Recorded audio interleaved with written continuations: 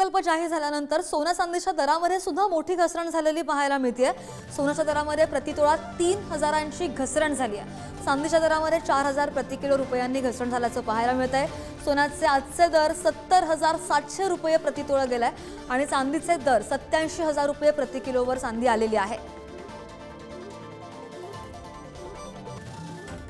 महत्वाची आणि मोठी अपडेट आपण पाहतोय. अर्थसंकल्प जाहीर झाल्यानंतर अर्थसंकल्प जाहीर होताच सोना चांदीच्या दरामध्ये मोठी घसरण पाहायला मिळालेली आहे. सोन्याच्या दरामध्ये प्रतितोळा तीन हजारांची घसरण झालेली आहे आणि चांदीमध्ये सुद्धा घसरण झाल्याचं पाहायला मिळत आहे